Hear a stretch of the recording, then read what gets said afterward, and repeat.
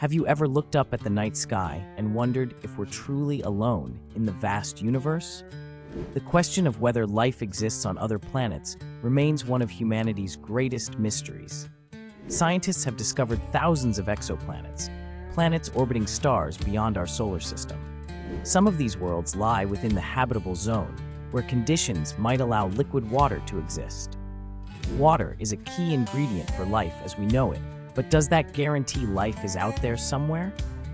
Researchers are using powerful telescopes to search for biosignatures, chemical hints in a planet's atmosphere that could indicate biological activity.